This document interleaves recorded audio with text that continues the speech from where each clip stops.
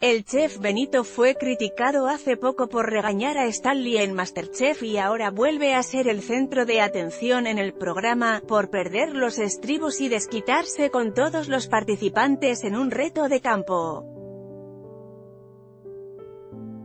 Usó palabrotas e insultos para regañar a los famosos cocineros. Los televidentes se sorprendieron al escucharlo decir, es que ni madres, ahí está la cuchara.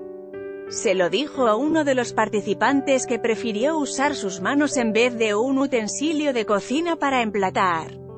A ver ahorita ya solo se escucha la voz de la capitana, ya todos a callar.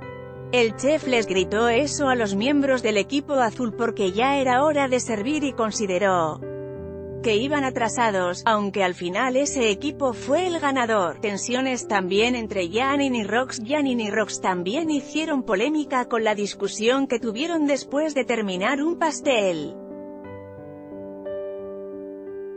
Rox reclamó, te pasaste de ver por ciento.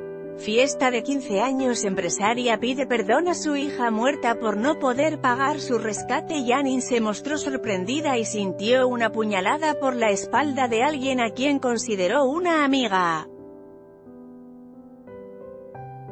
Nunca me iba a imaginar que ella se iba a poner a despotricar. Cuando uno termina de cocinar lo que haces es que estás preocupado por tu plato y no en insultar a alguien que está arriba del balcón y menos cuando dices que es tu amiga.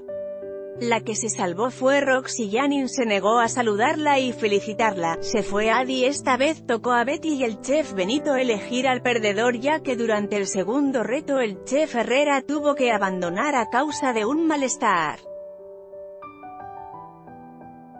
El horno le jugó un mal momento a Adi quien descubrió que la pasta de su calzone no se había cocido por completo.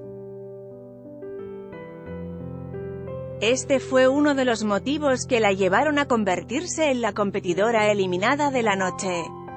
Con lágrimas, Adi se tomó un momento para leer una carta antes de abandonar Masterchef. Punto. En el escrito aprovechó para agradecer a Dios la oportunidad de estar en la contienda y a los jugadores y conductora Annette Michel por permitirle estar en el reality.